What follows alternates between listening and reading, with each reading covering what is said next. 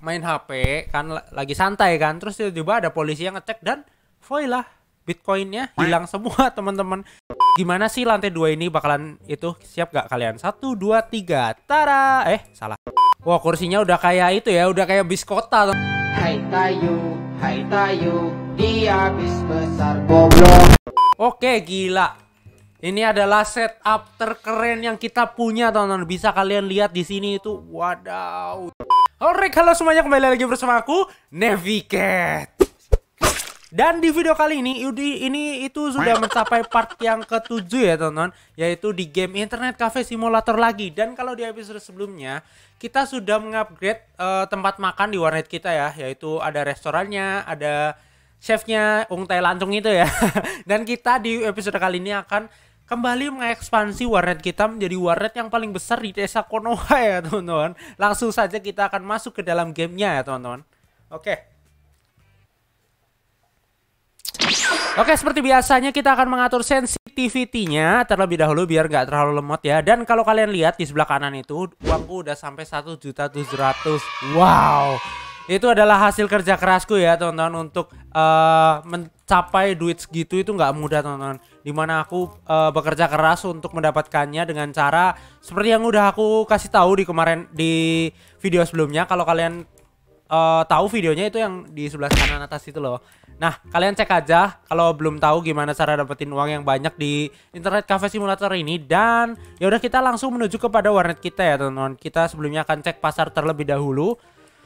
Uh, di uh, di sini ada apa namanya? Ada game konsol sama apa namanya? CPU ya. Tapi kayaknya nanti dulu deh ya. Kita akan menunjukkan dulu warnet kita perkembangannya. Jadi aku udah uh, main sebelumnya udah beberapa jam juga aku main dan ya seperti inilah sebentar kita akan membersihkan sampah ini terlebih dahulu karena ini tidak elok ya dipandang ya. Sebelum kita uh, membuka warnet kita, kita bersihkan sampahnya terlebih dahulu karena ini sudah terlalu banyak wahananya, jadi banyak banget yang masuk ke sini teman-teman. Jadi begitu udah dibuka, nanti susah kalau bersihinnya karena cukup rame ya teman-teman. Oke. Okay.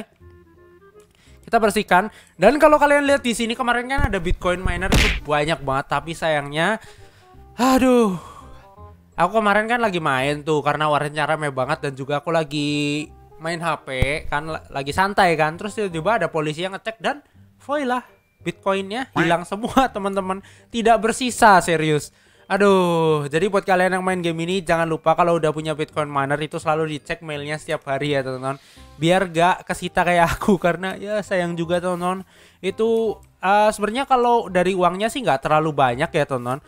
Cuma dari effortnya itu loh udah bolak-balik dari Black Knight itu ke ke warnet ini terus berkali-kali buat uh, menyusun miner kita teman-teman. Oke, kita akan membersihkan ini dulu teman-teman. Ah, kalau kalian lihat di sini aku sudah menambahkan beberapa arcade mesin ya. Kalau di sebelumnya kan kita belum ada ini ya teman-teman. Dan di sini juga udah aku tambahkan arcade mesin. Di sini masih kosong dan kita uh, video kali ini akan berfokus pada lantai dua ya teman-teman. Jadi kita akan sedikit uh, menunjukkan apa ya rencanaku untuk gimana sih lantai dua ini bakalan itu siap gak kalian? Satu dua tiga, tara. Eh salah Tada! Nah, di sini aku sudah menyiapkan beberapa komponen. Jadi aku udah beli sebelumnya biar nggak terlalu lama teman-teman bolak-baliknya. Dan di sini kita akan taruh sini dulu ya.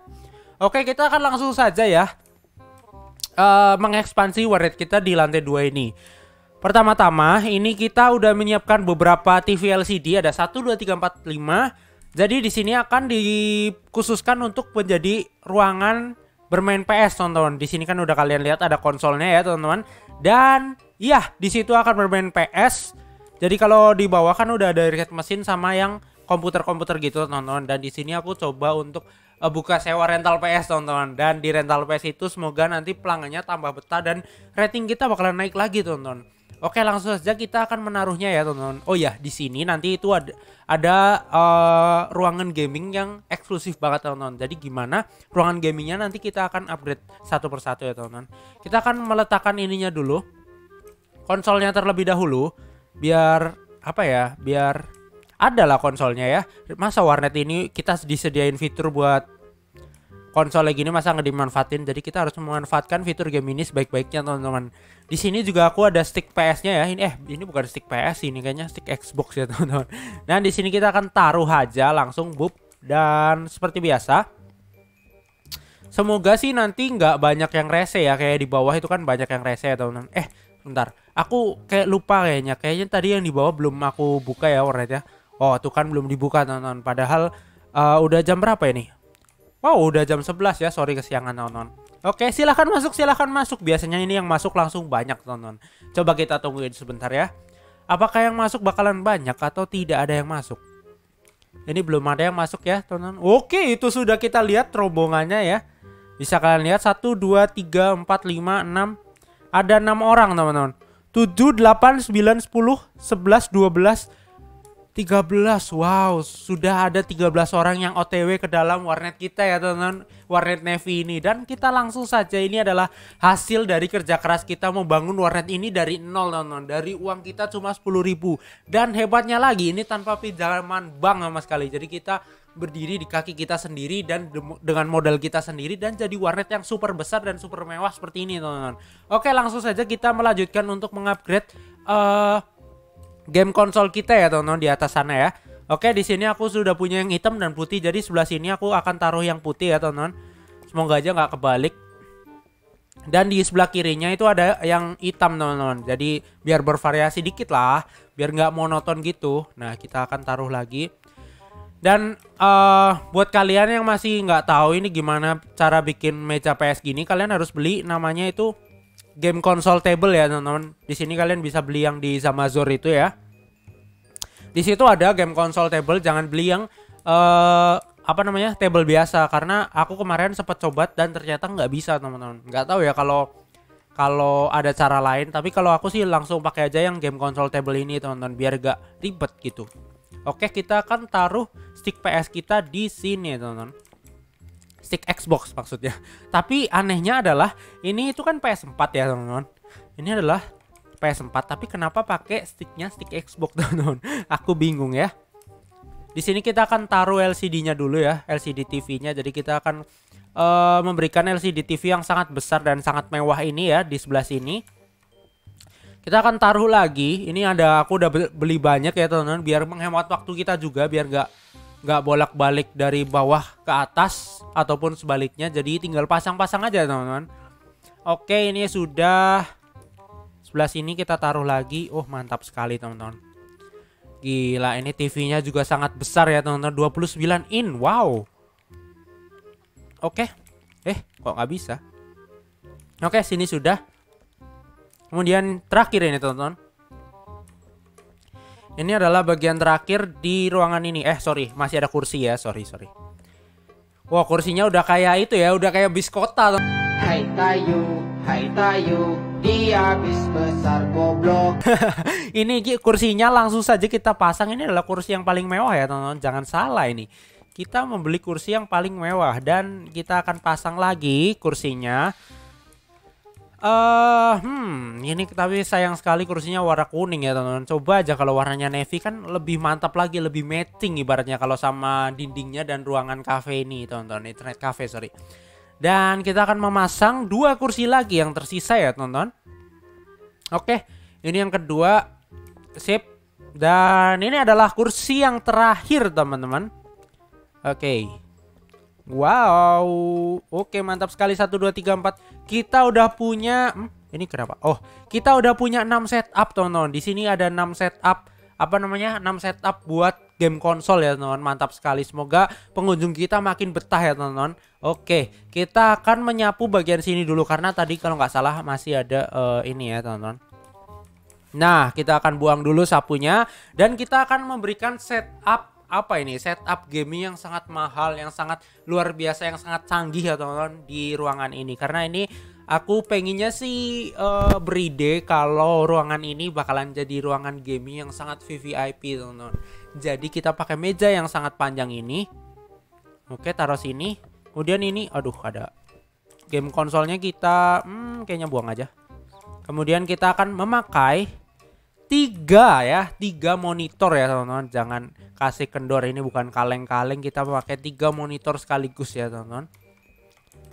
Biar kayak setup gaming yang mahal-mahal gitu teman-teman. Oke ini ada sebelah sini ya teman-teman. Waduh. Waduh, gak bisa kok nggak bisa itu ya, nggak bisa nggak bisa bersatu teman-teman. Oh ya udah nggak apa-apa gitu aja. Dan satu lagi teman-teman, jadi kita akan menggunakan tiga apa ya, tiga monitor di sini. Wadaw. Kita pakai tiga monitor. Sip.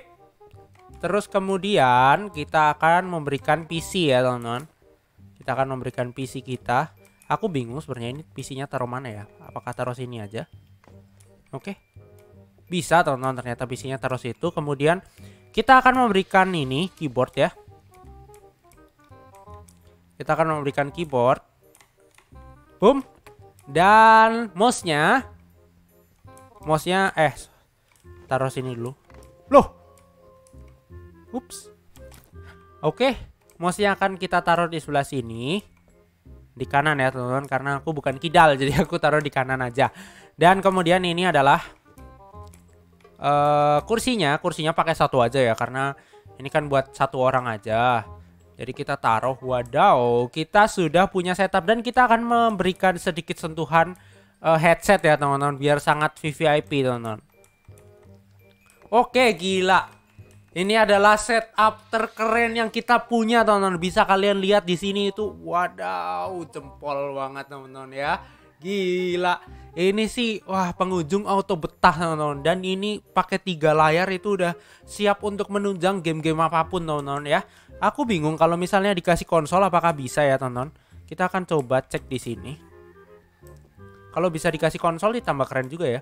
Oh ternyata nggak bisa teman-teman. Nah ini loh kalau apa ya namanya kalau pakai meja yang biasa itu nggak bisa ditaruh sayangnya konsolnya teman-teman ya.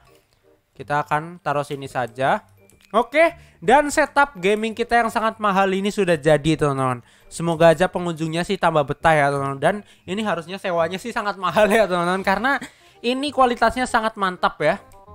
Oke, kita akan melanjutkan perjalanan kita ke bawah ya teman-teman. Setelah membuat ini setup satu ini, setup untuk game konsol ini, kemudian setup gaming yang VVIP juga sudah.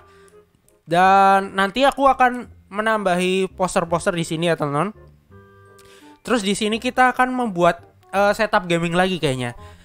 Jadi kita akan uh, membuat meja di tengah sini kayaknya di tengah sini kemudian jadi kayak meja meja tengah gitu loh teman-teman. Terus kursinya di kanan kirinya jadi jadi kayak lebih apa ya lebih kebersamaan dan kayak buat turnamen e-sport teman-teman jadi kayak buat turnamen e-sport dan oke okay, kita akan menuju ke bawah ya teman ke bawah. Waduh. Waduh, duh, duh, duh. Kayaknya banyak yang ngebak ya, teman-teman. Aduh, sampai susah loh. Karena terlalu ramai, teman-teman. Sampai susah untuk turun, teman-teman. Bagaimana ini? Aduh, itu orang-orang yang ngebak dan kita juga susah turunnya. Oke. Aduh, ada homeless, teman-teman. Oh my god, kita harus menyingkirkannya, teman-teman. Maaf ya, Papa homeless ya. Mana ini? Baseball bat kita. Kita akan langsung otw ke atas. Ini kenapa lagi kan pada ngebak orangnya? Ya ampun. Oh my god. Oh my god. Oh my god. Oke, aman ya teman-teman. Ini gaming gaming konsol kita udah aman ya. Aku pikir tadi karena ngebet gini, pem, terus gaming konsolnya jadi berantakan ternyata enggak. Oke, sip, mantap sekali ya teman-teman. Di sini arcade. Waduh, warnet kit. Oh, ini ada pencuri juga teman-teman.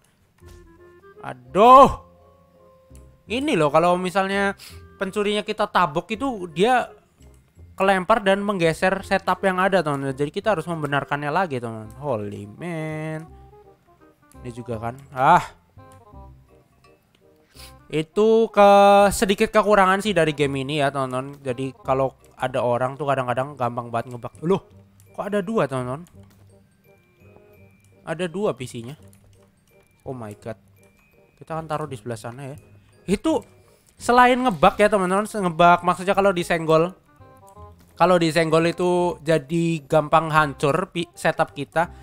Ngebaknya juga di itu alat-alatnya tuh kadang keduplikat jadi dua teman-teman. Itu yang bikin males ya.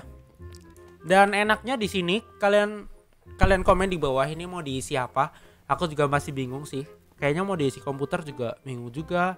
Jadi aku bingung diisi apa kalau kalian ada ide, bolehlah kalian uh, utarakan ide kalian biar kita warnet kita bertumbuh karena bersama-sama ya teman-teman. Jadi ide bersama kita tuangkan dalam warnet ini teman-teman gimana mantap sekali kan oke dan kayaknya cukup sih untuk episode kali ini. Jadi kita sudah mengupgrade lantai 2 ini ya teman-teman. Bisa kalian lihat di sini udah ada gaming konsol yang sudah sangat mantap, ada 6 biji dan kemudian di sebelah sini udah ada eh uh, wow, ini kok malah monitornya nggak ada teman-teman. Dan di sebelah sini juga ada setup gaming yang sangat mahal teman-teman. Oke. Ini ya teman, tapi tapi sayangnya belum ada orang yang main ya. Hmm, ya udah kita tunggu aja. Oke, mungkin untuk video kali ini sekian aja karena kita udah membuat banyak hal dan juga warnet kita semakin maju lagi ya teman-teman. Untuk ide selanjutnya, apakah warnet kita harus diapain? Kalian bisa kolom eh tulis di kolom komentar di bawah ide kalian seperti apa dan aku akan merealisasikannya dengan segera ya teman-teman. Oke, mungkin cukup untuk video sekian. Terima kasih buat kalian yang udah nonton. Jangan lupa buat like, comment, and share ke teman-teman kalian karena nanti Oh ya, jangan lupa buat subscribe juga karena nanti di 1000 subscriber kita akan adakan giveaway ya teman-teman. Untuk giveaway-nya aku belum tahu, belum kepikiran mau giveaway apa. Buat kalian yang ada ide buat giveaway apa gitu atau kalian pengen apa gitu, kalian boleh tulis di kolom komentar di bawah tapi jangan mahal-mahal ya teman-teman. Karena saya juga masih aduh masih pelajar ya teman-teman, juga kayak hmm ya belum kayak kayak amat ya. Jadi yang yang affordable aja, yang yang apa ya, yang terjangkau ya teman-teman. Oke, terima kasih buat kalian yang udah nonton. See you on my next video dan bye bye. Boom. Subscribe.